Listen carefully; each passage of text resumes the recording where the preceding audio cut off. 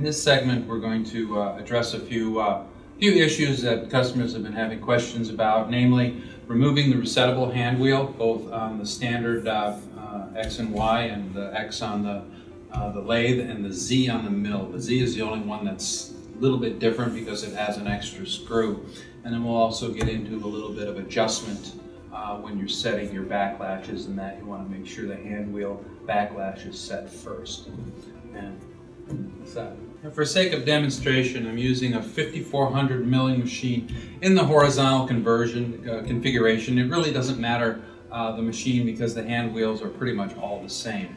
Uh, the first one we're going to do is the, the standard uh, uh, X hand wheel with the resettable uh, dial on it. The easiest way to get it off is you want to first release the thumb lock so you can rotate the hand wheel. Now hold the silver dial and turn the hand wheel until you see the little hole in the hand wheel or in the, uh, the dial. Now hold the number dial and turn the hand wheel until you see the set screw through the hole. It's real easy because it turns from silver to black. And take your 332nd Allen wrench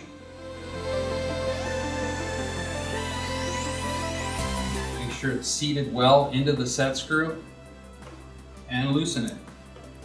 Do not try to take it completely out. The set screw will not come out through the hole in the number dial. We kind of did that on purpose so you don't lose the set screw. Um, maybe a turn, uh, turn and a half, and and wheel comes right off. Simple as that. And now the Z on the milling machine is slightly different in that it does have the set screw on the side, but it also has a little captive screw on top. So to do this, you, do, you start off the same way, loosen the thumb wheel, find your, find your hole in the, in the number dial, hold the number dial, and turn the silver hand wheel until you see the set screw through the hole. Put your Allen wrench in, loosen it up, maybe a turn, and now the difference is, is there's a little flathead screw on top. You can't take this out because it's held captive in by the, the, the locking thumb wheel. With a real small Allen wrench, loosen it, and then as you're taking it out, lift up on the hand wheel, and off she comes. That simple. Now remember, don't lose your, your thrust bearing and thrust washer Make sure that gets put back on. And assembly is reverse.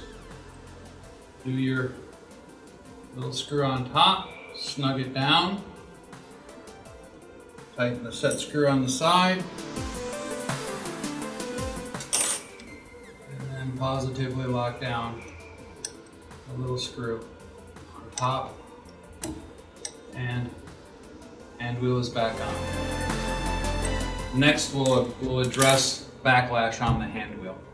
The last thing we're going to address is the hand wheel backlash. A number of customers have complained that they have almost a turn, if not a turn plus, of backlash before anything starts happening. What you can see here is the gap here between the thrust collar and the number dial is actually increasing and decreasing as I'm turning it, it eventually will start moving the axis, but you get this almost a half a turn backlash. And what's happened is, is over time with aggressive machining, the hand wheel can pull away from the shoulder a little bit. And the, the easiest way to uh, address that is just like taking off the hand wheel. You want to find your, your hole in the, in the number dial and then your set screw